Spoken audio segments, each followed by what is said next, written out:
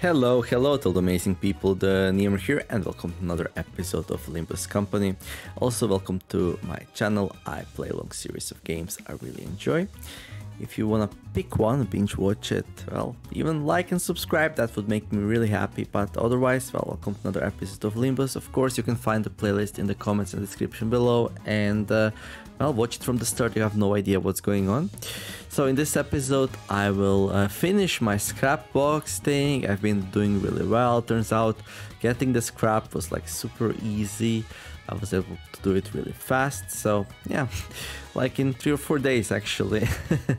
what is my secret? Well, there's a couple of things which sped things up, but like it wasn't really key to it. I would definitely advise you to add a whole bunch of people to your playlist and uh, well, not to your playlist, to your to friend list, and uh, see if uh, well, see if you can get a um, either Ishmael, Molar Boatworks Fixer Ishmael, or Soda Honglu onto your friend list to speed things up, but it wouldn't like be game breaking or anything. I did also go and extract Ishmael, so we have both. So, but anyway, uh, gonna go and gather scrap. Let's see how long does it take. That's one minute twenty in the video, so. Gonna click here, gonna click there. Gonna change our team a little bit to grab the Honglu with soda on it. There we go. So we get 40, 20, plus 20, plus 40, like uh, 80, 100, 120 bonus here. Let's check the time again. Almost two minutes. So I've been doing this relatively fast. You don't really have to bring uh, these. You just have need to have them on your roster. But it turns out that's totally fine. So okay, two minutes into the video. Let's uh, let's go into the fight and I'll show you how I was doing it. So I was basically doing it in, I was watching YouTube and doing it on a small screen. I really wanted to limit the things that I would have to micromanage. So the first two waves of the fight, I was just auto-combating it, auto-combating it. So that part, nothing super spectacular there. And then um, the final part of the fight, like there there needed to be some like uh, micromanagement, but uh, nothing super crazy. I'll show you what I did in most of the fights. Sometimes I need to adapt a little bit, but like most of the time it was like super easy. And I didn't even really go and build a team. Like this is a little bit unfortunate, like this crap winning the clash that definitely like it's gonna increase the duration of this thing by around 20 seconds, but yeah, it's not really a big deal. So yeah, definitely not super grindy. Um, I mean, I had some free time, so I was able to play it for a bit like two or three hours today. and uh, same thing yesterday but you know if you spread out during these two weeks when the uh, event is available like it wouldn't be too bad. Obviously it would be a little bit shorter if you like uh, don't add your people to uh, your people to the friend list we have. But it was like surprisingly easy for me like uh, uh, in the previous video or the one before that actually two videos ago. Like I actually shown the the process of adding a whole bunch of people which had Ishmael as uh, the boat fixer Ishmael as their banner picture. So it was kind of really easy to figure out uh, like who to add in order to uh, well get a desired result really. And this fight is going super bad. but yeah, it's gonna be my last fight here. I'm gonna go to get to 4000 and that's gonna mark the the end of the, that. And then I will. Uh, some of these are not optimal, but like as I said, I was just auto combating it and auto combating it and enjoying some YouTube on the side. So uh, it's like just doing this fight over and over again. is definitely not the, the the height of my gaming career or anything like that. But yeah. Maybe those fights were also going relatively blindly like they are here. I was just wasn't aware of it because, well, you know, wasn't paying attention, so. In any case, that was like, what, 4 turns? That's decent enough, I would say. My only worry here is that some people will get target at really bad points in the fight, but probably not. And, uh, and yeah, so I got a whole bunch of stuff from the event, really happy about it, and then I can finally go and start the uh, Mirror of Mirrors on easy, and then after that uh, I would go on uh, on hard. I guess. So the next videos will be all about that. Hopefully I can finish that before the next event or season thing or anything that would distract me once more, but uh, yeah, definitely the next thing on the chopping block. Okay. But yeah, I wasn't really building any type of very specific team that would be super good against scraps. I just used all my star 3Ds that uh, IDs that I got, uh, plus Sinclair, which I got in the event. Didn't really check him in detail. I just, you know, took him along the right.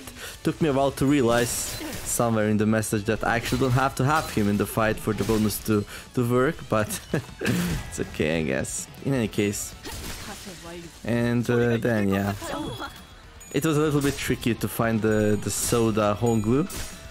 So I usually maximize the screen just for that, but that's more or less everything I did. But yeah, so we're getting to the third wave here where the big crab's gonna come and I don't know tell you what I did with that part of the fight to make it as fast as possible. So ideally we start the fight with uh, with her staying up and uh, indeed we do. And then uh, we also slow him down with, with him. And then the fourth one, I just put everyone uh, here and we ignore the defense thing. And then, uh, yeah, I just make sure uh, my best clasher goes here possible, is dominating. Um, I would somewhat be able to notice that, but like the screen was like maybe like this, like this, like one sixth of the screen, so it's really hard to tell. So sometimes the, the third one was really dominating, but you know, it's okay.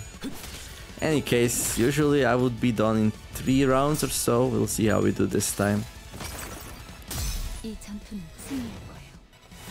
Let's see what this hits. This is an AoE, so it's gonna do a lot of damage. That, that's that was really the key to split things uh, along realistically. Now we are not clashing the crabs, so it's like they're gonna do their thing, but it's not really a problem, like at all.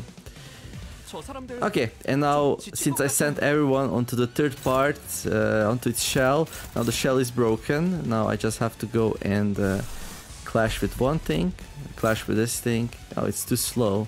Oh really? That never happened before. this is like a speed of one, so that's the reason why I use his thing. So we can always clash, but doesn't matter. So he's just gonna use hers then. Oh well, that's so weird, dude. In any case, and then we send everyone else onto the staggered part, and then uh, he's either dead or we just finish him off in the next round. Super easy uh, and very fast, and uh, yeah really easy fight. Still takes like 8 minutes or so though, with the loading times and the first two parts and everything, so... But yeah, 8 minutes, that means I can do it like... I don't know, we'll do a calculation after the fight. I'll do the calculation. It's gonna be less than 8 minutes.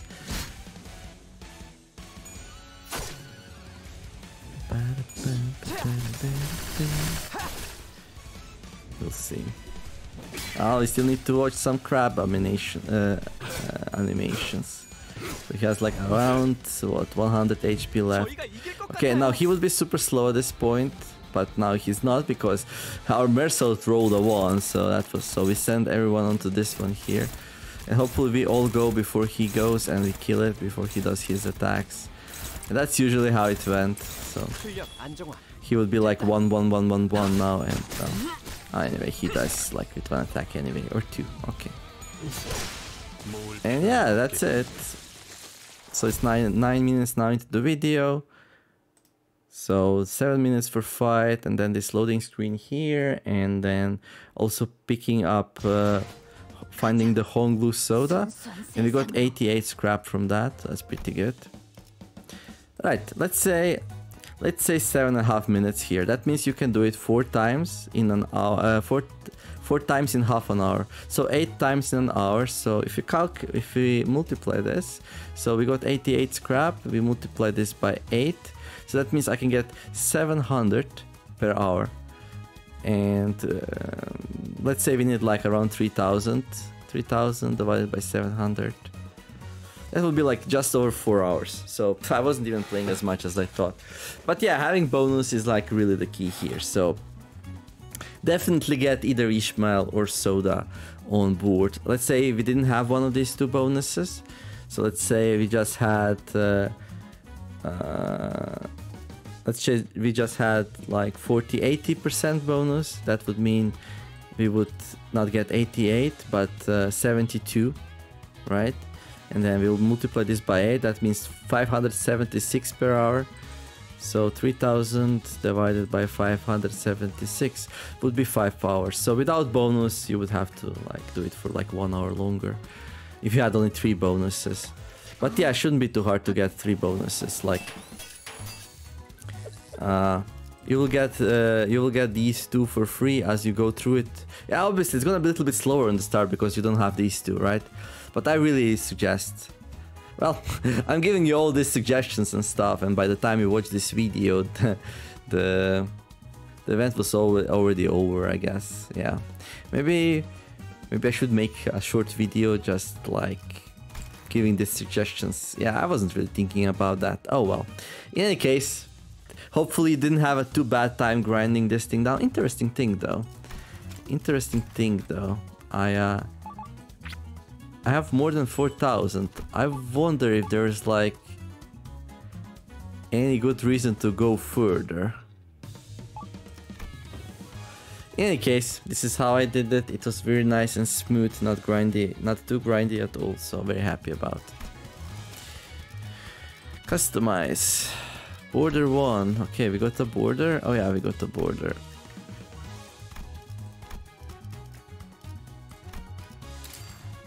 There. I'm not sure how noticeable this is, but okay. Okay, cool. So, then uh, we're gonna go through one more thing. Uh, I got the Soda Ryoshu thing, and I wanted to use it. So I uh, I tier 3 uh, my Ryoshu, even though I didn't have to do that. That was a little bit silly, but, silly, but let's go and watch the thing. Oh, not this thing. Identity Archives, we're gonna go to Ryoshu here for uh, 7. So this is the story we saw offline, so I'm gonna show it to you guys now. Will you enter the 7 South Section 6 Ryoshu story? Yes, I will. I don't want you to miss anything. That's how nice I am. Curious coworker, why do you even bother staying in the 7? And M. The child was always harsh to others' questions. While her snappish replies weren't as a result of meticulous calculation, the Seventh Association nevertheless took an interest in that trait of hers. Information dissymmetry. Although the Seventh Association specializes in gathering intelligence, it's never easily shared its knowledge with others on principle. In that sense, the child could be seen as somewhat discreet about her info, a woman of few words, if you will. Of course, that wasn't necessarily her intention it's far more uh, it's far more likely that the child just needed an excuse to swing her sword. I think so. Hmm, watch and learn. The child lifted her weapon with an unorthodox posture and got to work. Each spot targeted and touched by her sword was peeled, cut, sliced, and strewn. Pacts. Peak art created through swordsmanship. She left a lump of flesh that could no longer be recognized as a human in her wake, so yeah, she painted with her sword. And yeah, that's it. That's the little bit of a uh, uptight 3 for a 7 section Ryoshu there. 7 South Section 6 Ryoshu story. Uh, oh.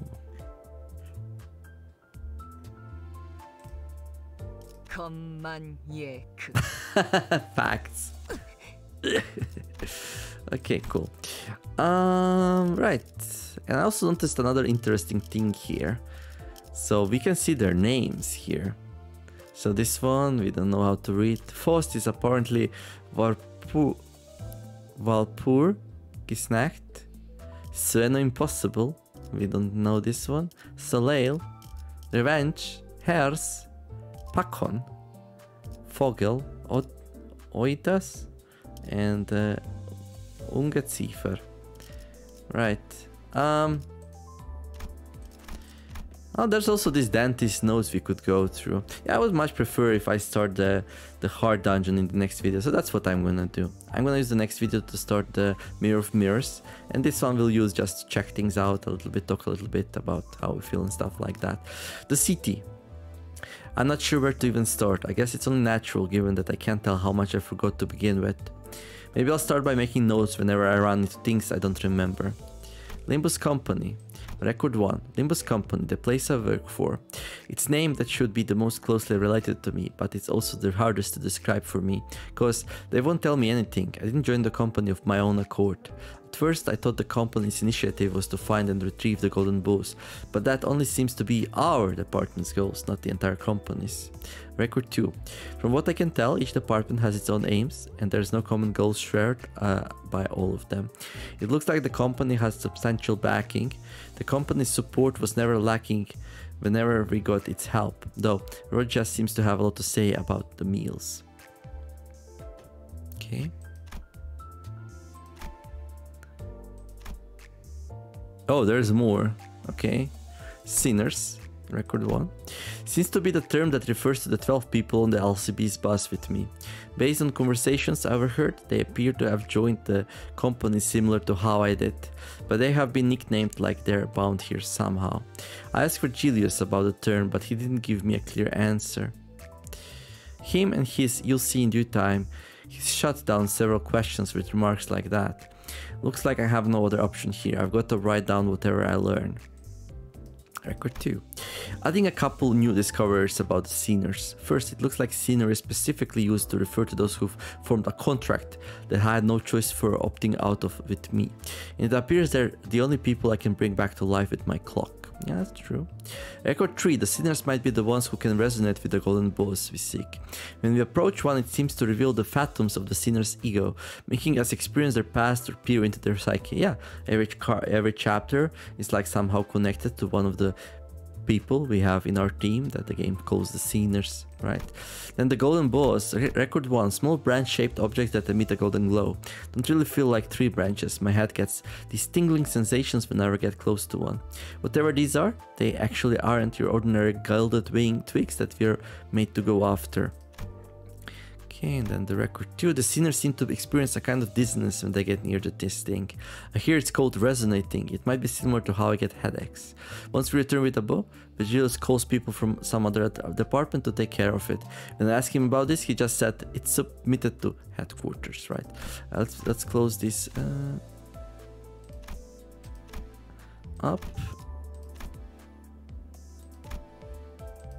Oh, they, they keep reopening apparently, okay. The LCB, Limbus Company Bus. Its name comes from the fact we're on a bus. Feels like they don't put a lot of thought into the name, but the other departments aren't far ahead in terms of sophistication. Well, we still need to figure out, is it a bus boat or a boat bus? I still think it's a boat bus. Uh, the team includes people like me and the uh, ones called sinners, who are sitting back behind, still not used to this word. The purpose is to retrieve things called golden boughs from the underground facilities of lobotomy or whatever the L Corp stood for.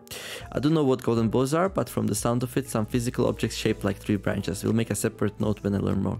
And we did indeed, so...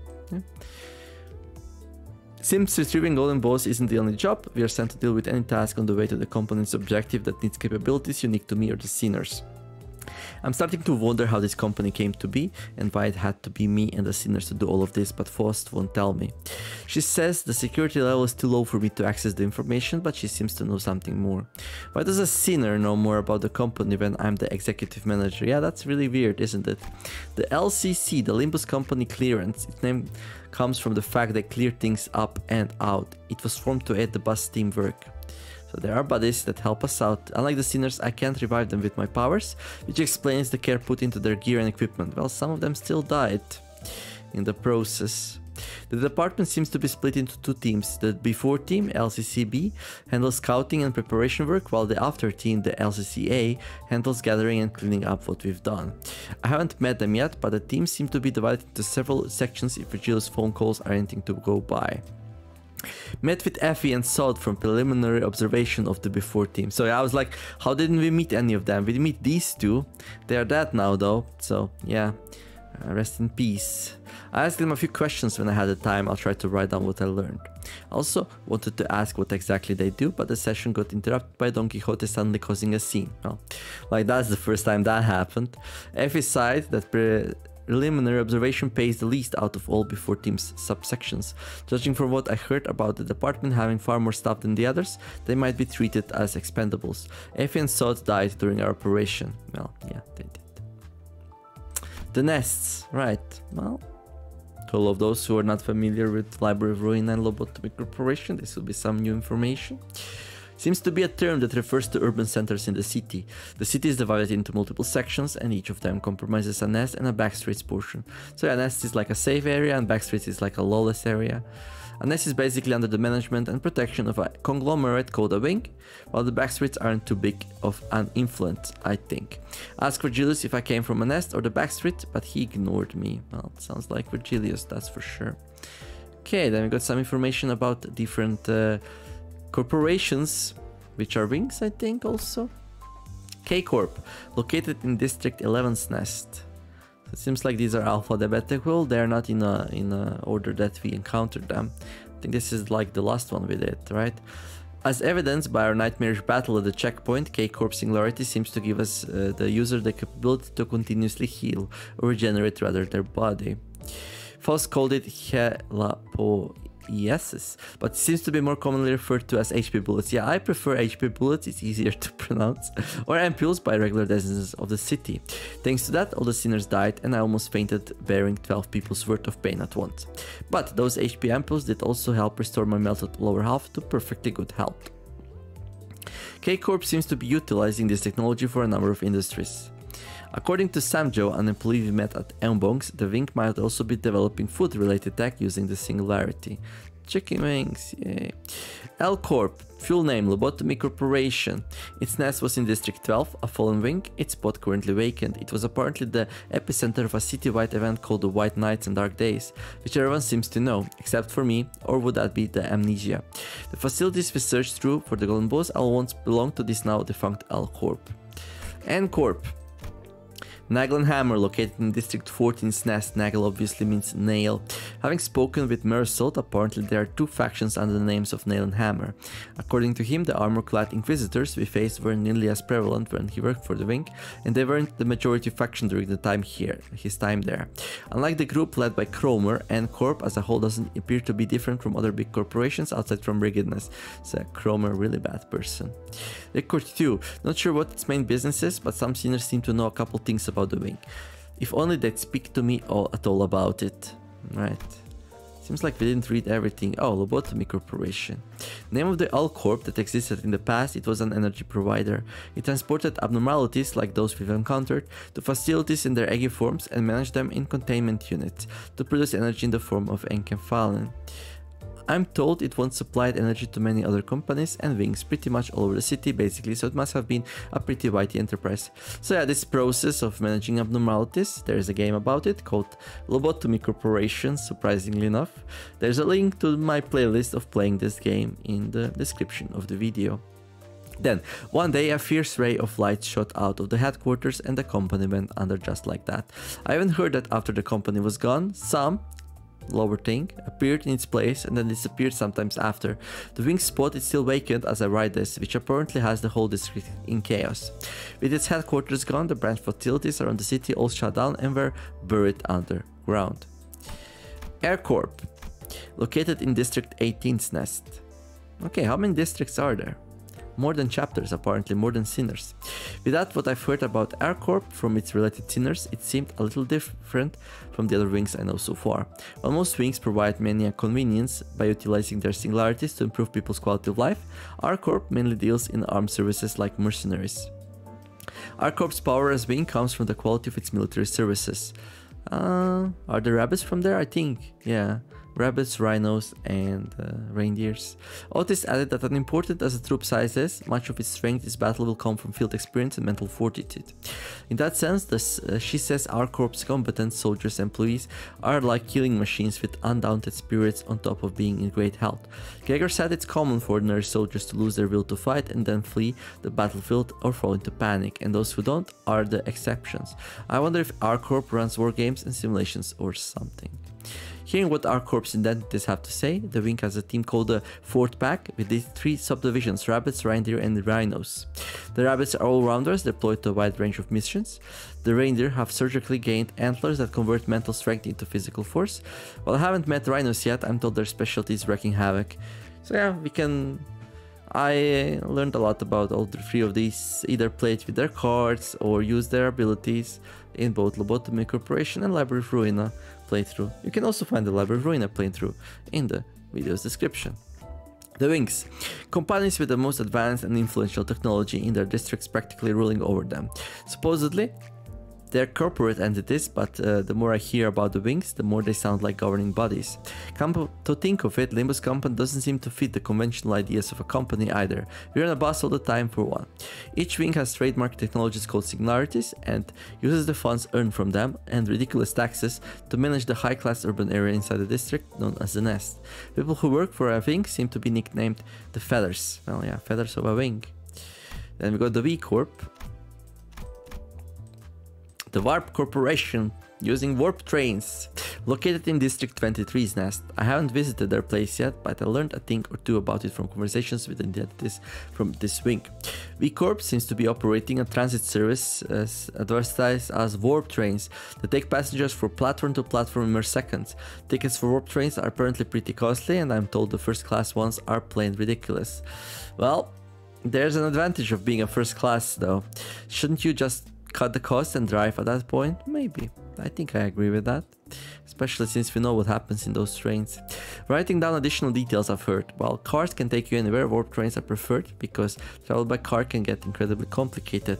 Makes sense considering the procedures we went through just to get into K-Corp's nest. Speaking more, it seems the bigger problem is the roads are made inefficiently. They're so twisted and convoluted that it takes an unreasonable amount of time to travel between backstreets areas by car. Even if the linear distance is short, the road is to the destination will be labyrinthine. Labyrinthine? That's not a word. Pur purportedly there are wide open roads called highways connecting the nest, but that comes with a set of conditions and costs as well. Learned a shocking fact while taking talking with seniors down up in V-Corp's identities. Though they didn't tell me directly, it seems that the trips on warp trains, which take no more than a few minutes from an outsider's perspective, make their passengers perceive a terribly long amount of time, dissolving their sanity and deforming them beyond recognition once the ride is finally over. Then it's the job of a cleanup agent to physically sort out the mess every time. Thank goodness we have a bus. Yes, that's true.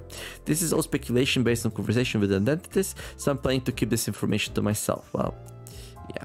We got the fixers the muscles of the city, the contractors, sort of freelancers who take care of or help with various jobs and requests in the city. They don't work for free, of course. The whole society seems to be based around money, but uh, I don't think I can say for sure that there are absolutely no fixers willing to do charity work, I guess. The ones I've seen and heard about were all from walks of life, too diverse for me to neatly summarize.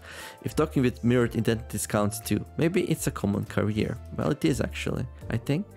Apparently, you can't be a fixer just because you want to. Some fixer related identities told me that there are tests you need to pass to earn a license. Looks like fixers are graded with a number, 9 being the lowest and 1 being the highest. There's also a special grade called being a color. Vergilius appears to be one. He has the moniker of the Red Gaze. He's supposedly pretty skilled and famous. Offices. So this is where the fixers work. Term that encompasses all the corporate bodies or any place of business really that are founded by fixers. There seems to be some sort of rule that uh, requires fixers to be part of an authorized organization of any kind if they want to work. And setting up a one person office is apparently an option. Well, yeah.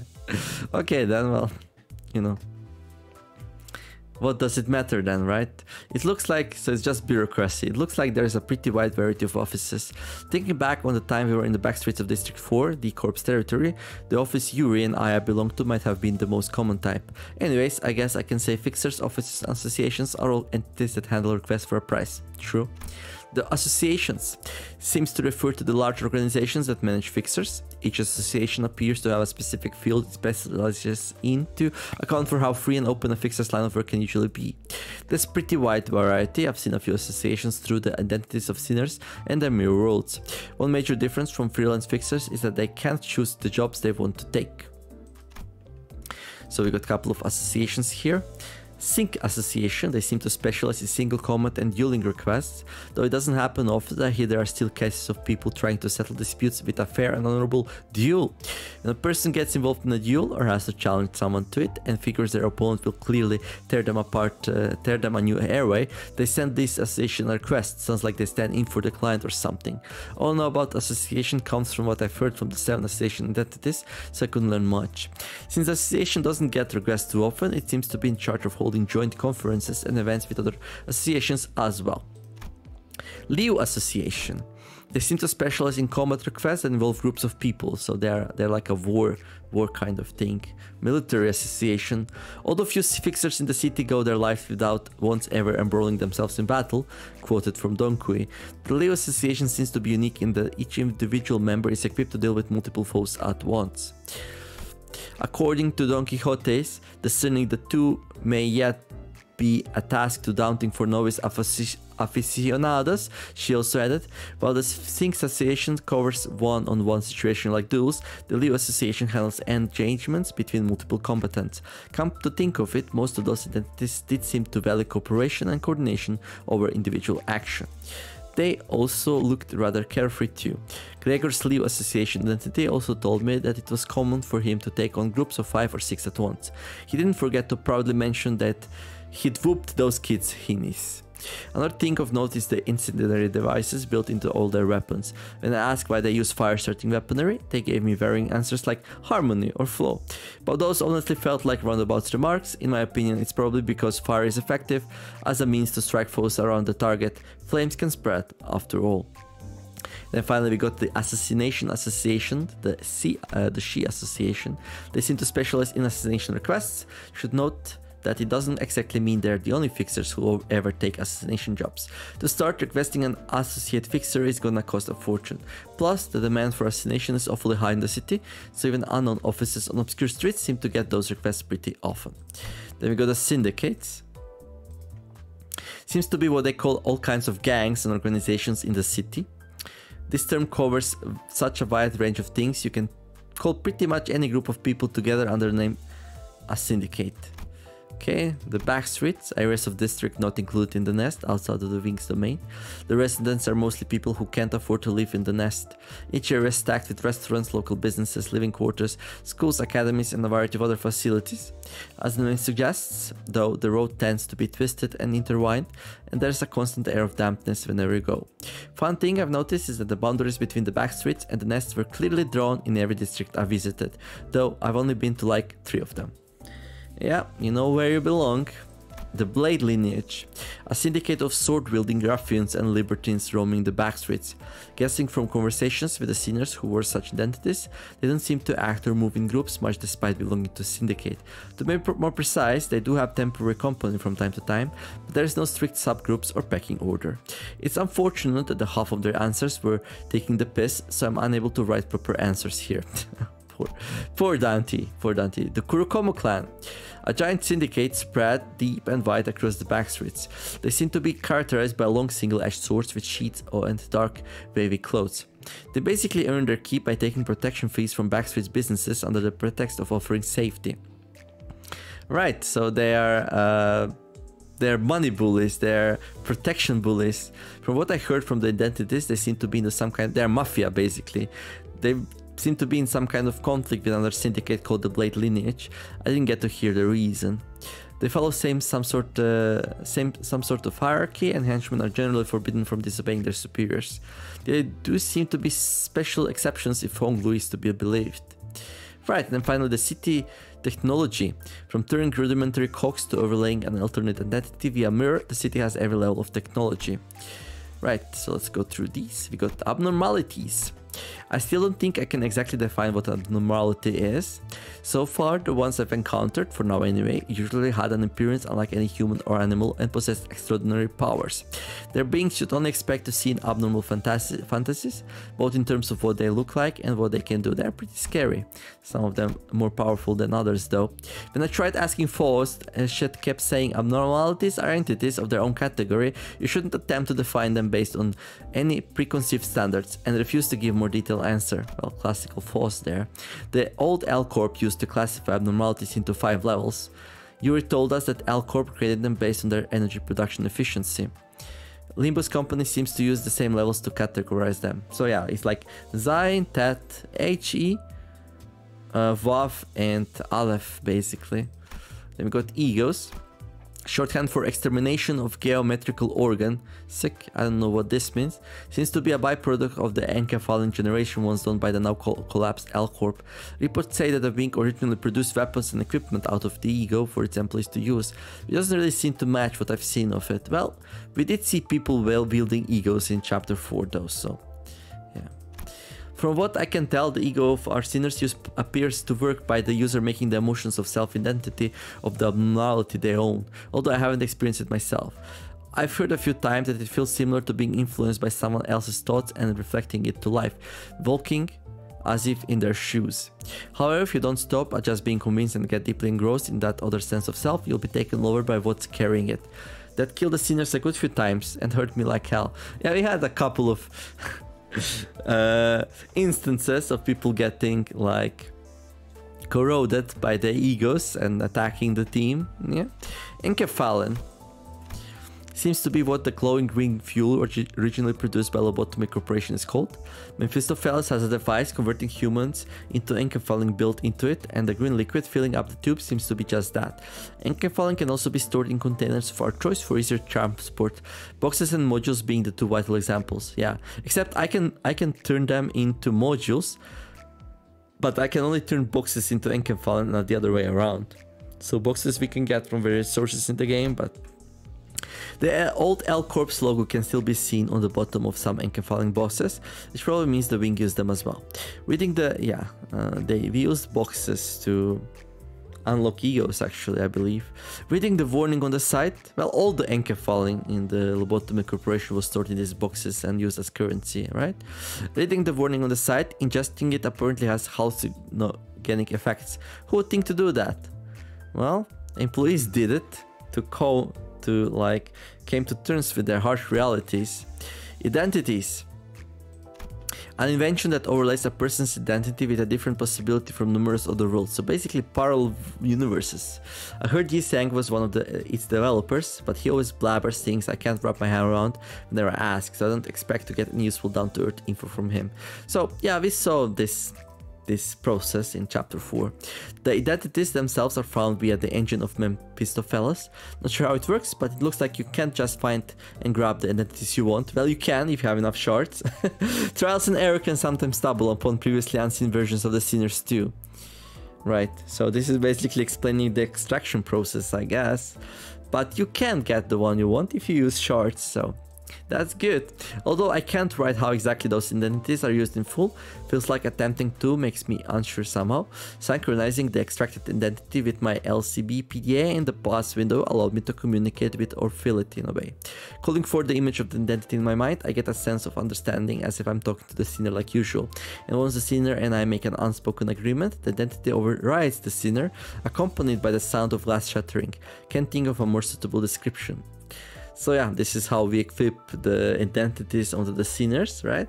Well, overlaid with an identity, the sinner appears pretty different from usual. On top of attires and weapons, their personalities can also change pretty wildly, and sometimes make me question if they're really the sinners I know. Fortunately, well, they're not, they're the identities, they possess them, right? Fortunately, they seem to go back to their original selves when they are done using an identity, but prolonged use might cause small side effects like headaches or residual traces of the identity's personality surfacing from time to time. Well, that's interesting. Identity uptying a process of synchronizing an identity with this world using the thread we've gathered. It's how one brought from a different world is tuned to the sinner in ours and becomes more powerful as a result. I guess it could be linked likened to binding the two worlds together. From what I can tell, a freshly excited identity can't immediately transfer all of their knowledge and combat prowess to the sinner. That's why thread must be used to uptie the identity and make it more effective. So this explains why we have to uptie our identities basically. I ask if the max uptie status as shown on the PDA is really the highest possible tier and probably not because like it was maximum one was three and now it's already four and who knows in the future it might be five six we'll see. I wanted to know if that meant that the sinner ritually becomes the same as the one from another world. I've been told it's theoretically the case. If an identity brought from a certain point in time of the world from where it was extracted gains more experience training their combat skills further for example a new possibility can occur that allows for additional stages of uptying. I guess that's to mean identities from a certain point in time could grow stronger in terms of experience and technique I ask if events differing from our timeline happen in the worlds from where the identities are extracted as time passes. I've been told that we can't know for sure and that it doesn't matter anyway. Limbus Company is only interested in enhancing the sinner's capabilities in battle, so they don't care about what happens with identity or its world as we uptie them. Okay. Singularities, simply put, some kind of incredible technology owned by the Wings. I was curious how they're different from their other technologies in the city. I guess it's the fact that singularities are monopolized by the Wings that own them. Record 2. Another thing of note is that they almost seem to be outside the realm of logic or classical physics. Faust says it's necessary to bother thinking about the intricacies of my current state by uh, I don't think you can brush off flesh regrowing from a severed arm or stickers that boost your luck as things that just work that way. Wait, is my head a singularity too? Well... Singularities are a mystery, aren't they? Yeah, they are definitely monopolized. And uh, usually they have a, some kind of a dark secret behind it, so... Yeah, I don't think they're just like normal technologies. There's something that takes a lot of sacrifice and weird stuff to make it work. Threads, so these we use to uptie. A strangely shaped object is inside kinda like a bulb-like thing.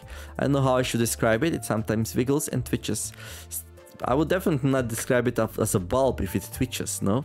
Staring into the glimmering thread makes me feel rather woozy. Faust wouldn't let me hold it in my hands for long, but so I put it back in place and let her explain what it is. In summary, it's all sorts of possibilities woven into spindles of threads or something like that. To be frank, I can't really call this a summary when I just wrote down what Faust said almost word for word. I couldn't understand what she meant exactly. It gives me a similar feeling to looking up at a star that appears when I win the clock, sort of like Ave. Well, I think the most important thing is uh, to like know what it is used for. So, yeah. Thread spinning. Similar to uptying, this is a process of making the sinner's ego more powerful using thread. Though I do wonder why the thread spinning and not uptying again. Well, well, maybe this will explain it. Like identities, the egos used by the sinners are possibilities drawn from the course of certain abnormalities for appropriate individuals. However, using ego to its full potential requires weaving together a deep understanding and well-read interpretation of the abnormality, which is why it's called thread spinning. Sort of like the idiom of spinning a yarn. Thread spinning an ego enriches the comprehension of the abnormality's mental imagery, enhancing its power and effectiveness. Ego seems to be the manifestation of some kind of mental force. I guess it makes sense that forming through our knowledge of the abnormality in its ego is important. While thread's role in uptying is to connect peoples between worlds, it seems to work like a wire to unravel the core of the abnormality in thread spinning. Faust says we might be able to thread spin egos beyond what we're currently capable of in the future. so yeah, opening themselves um, chances of new updates and stuff.